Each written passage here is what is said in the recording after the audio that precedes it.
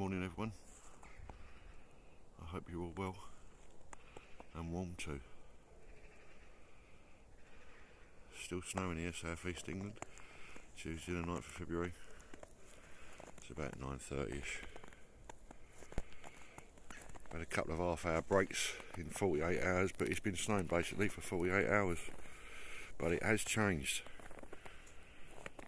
The last couple of days, it's been powdery little balls. Today, it actually looks like snow. Proper flakes and crystals.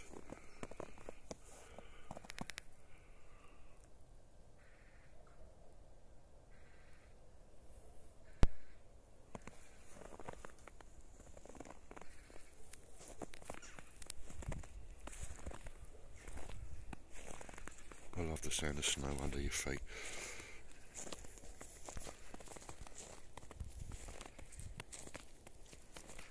Take care all. Have a good day.